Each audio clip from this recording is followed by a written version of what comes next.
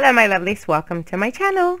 Here we are doing another reading for you guys. This is going to be the monthly readings for the month of May 2020. I know we're a bit behind. I do want to apologize. Also, I want to let you guys know, those of you guys that have messaged us, please be patient. We're trying to get through all the emails. Uh, we've been getting thousands and thousands of emails on everyday basis. Unfortunately, we don't go through the emails on everyday basis, so they've been we've been a bit backed up to say the least, um, as well as on social media. So please be patient with that, uh, with this craziness that's going on worldwide. uh, we're all currently wanting to make sure that our families are safe, as well as uh, you know making you guys a priority as well. So please, like I said, be patient with that. Okay. Let's get into your reading Capricorn. This is going to be for Capricorn, Sun, Moon, Rising, and Venus for the month of May 2020. Let's see what Spirit has for you guys.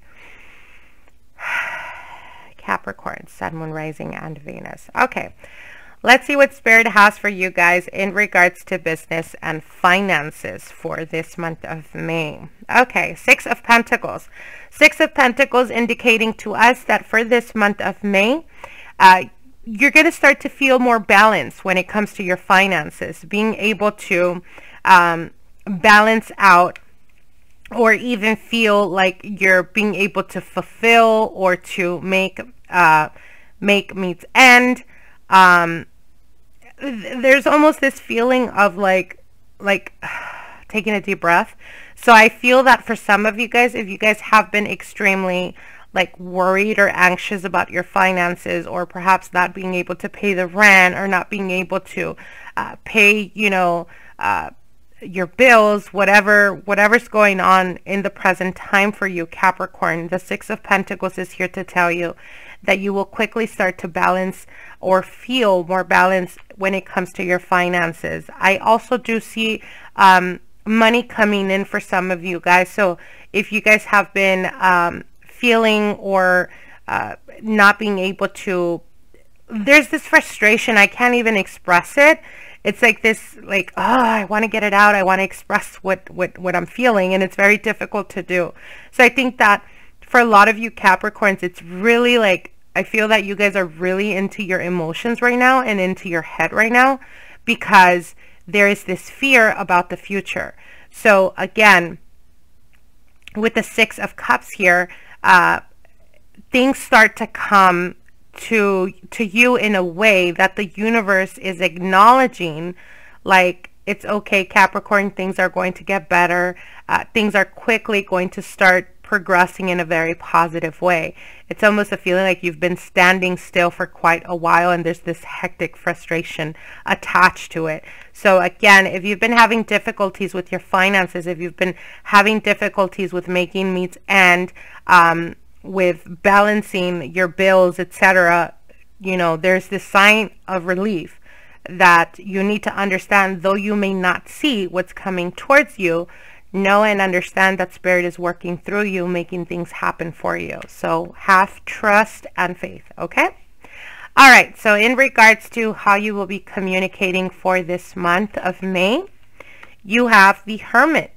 So you may be dealing with a Virgo. For some of you guys, you actually may be dealing with a Virgo that has or is very connected to your finances. This could be your manager. This could be your supervisor. This could be a person that is of a higher position than you um, where there's going to be like they're really trying the best they can to help you out because they know that helping you out is going to basically help them. So again, especially for those of you guys that aren't in sales, I definitely see them like really wanting the like really trying to push you um, center stage and and, and really uh, do whatever they can to bring in clients, etc. Because I feel that they know you're struggling, but at the same time they're struggling themselves. So if I encourage you, if I am extremely positive towards you, I know that that's going to help you in your humor, in your attitude. So I definitely see them doing that. For a lot of you guys, in regards to communicating, I see you guys being um, more closed off for this month of May. Uh, for some of you guys, this could be residue energy of the past. So perhaps the end of April, you guys were more like internalizing what's going on, trying to figure out things about your life.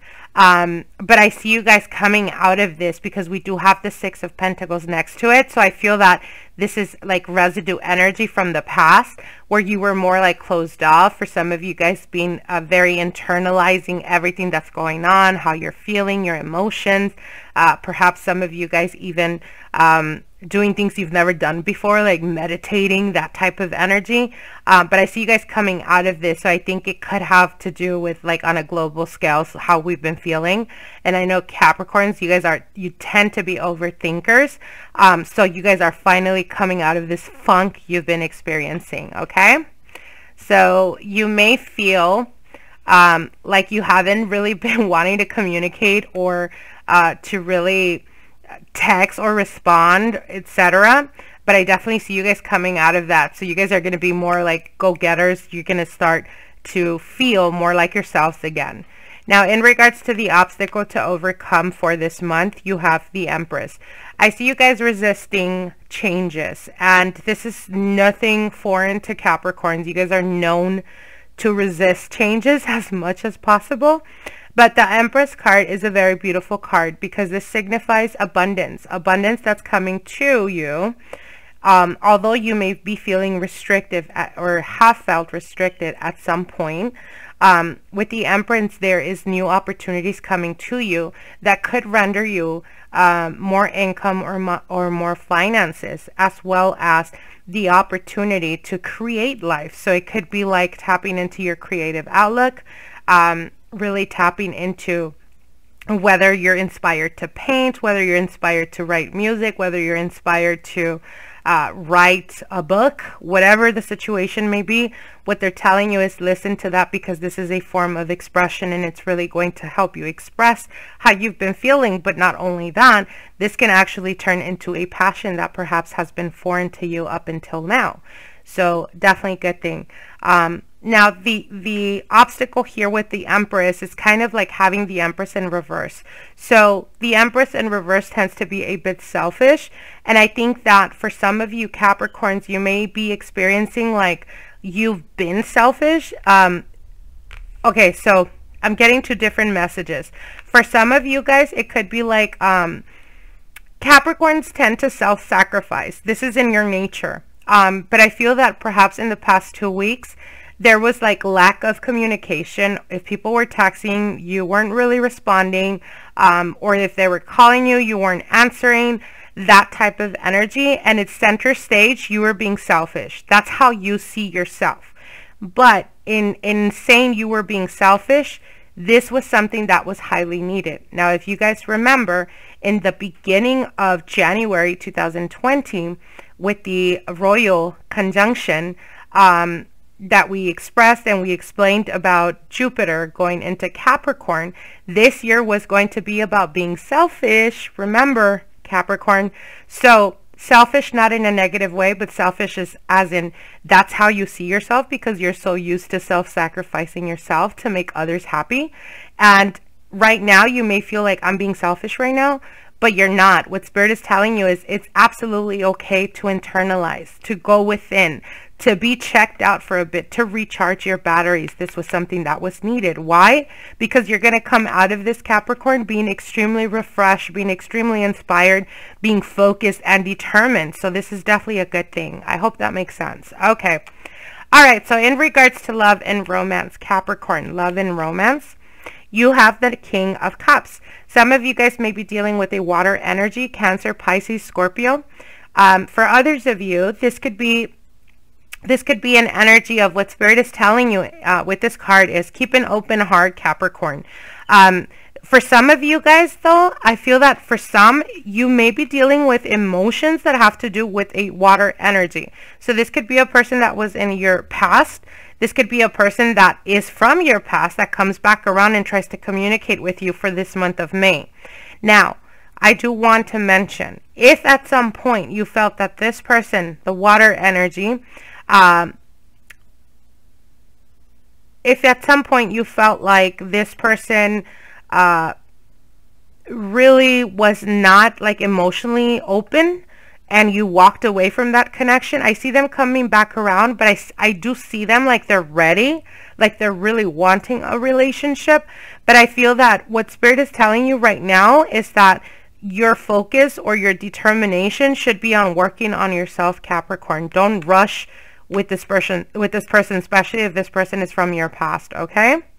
I hope that makes sense. Now, for those of you guys that are in a long-term committed relationship, what they're telling you here with the King of Cups is I do see you guys being very amorous. I do see you guys being very lovey-dovey. For some of you guys, this could be like being very compassionate, um, really like letting your partner know how much they mean to you and how much you care for them. Uh, this could be like uh, being extremely thoughtful, giving them roses, chocolates, uh, just being extremely romantic. And I feel that although Capricorns are not known for that, you guys are very practical. So you will uh, physically show or physically prove to your partner how much they mean to you if given the chance. All right, let's see what Spirit's um, overall message is for you Capricorns for this month of May. All right. Mm, Angel of Love. Yeah, I definitely sense that with this card. Um, even those of you guys that are currently single, I do definitely see love like surrounding you or being around you. A lot of people really like looking to you because you do have the Empress card here. And the Empress card could signify, signify, sorry, uh, people really like being very physically attracted to you or like getting a lot of attention. And I see like a lot of people really looking towards you or like wanting to know about you or getting to know you uh, getting to know you, sorry, getting to know you better. Um, and with the King of Cups, Spirit is telling you, keep an open heart, Capricorn. Keep an open mind. Um, love is definitely in the air for you. And those of you guys that are in a long-term committed relationship, I do see you guys very like sexually active, very passionate and intense. Uh, so definitely embrace this, uh, Capricorn. I hope you guys enjoyed this reading. Like, share, and comment. Um, I hope from the bottom of my heart that you guys stay safe, that you and your loved ones are safe, and we'll see each other soon. Bye.